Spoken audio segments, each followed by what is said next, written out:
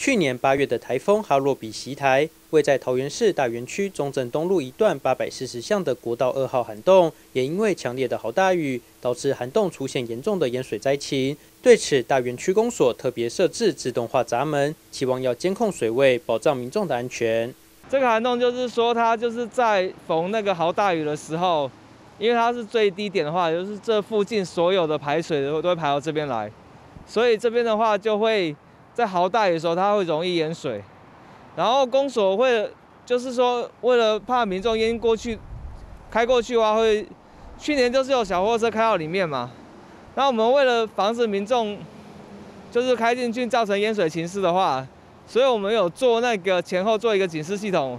大园区公所为了避免豪大雨期间民众或骑机车误闯涵洞，因此特别斥资一百六十万元，在中正东路一段八百四十巷的国道二号涵洞两端设置栅栏机自动化安全系统，透过随时侦测水位并降下栅栏，要防止人车误入。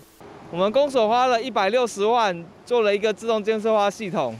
然后只要那个车那个水的话，只要超过十公分的话，因为超过十公分的话，那那个前后的栅栏就会降下来，就是防止车辆进入。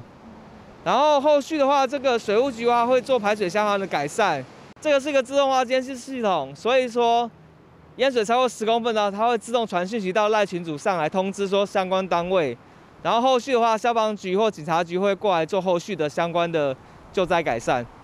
目前大园区中正东路一段八百四十巷国道二号涵洞两端的自动安全栅栏已经正式启用。另外，桃园市政府水务局未来也将针对涵洞进行改善工程，不仅要降低淹水的发生率，同时民众在行经当地时也请多加留意。记者周军台报道。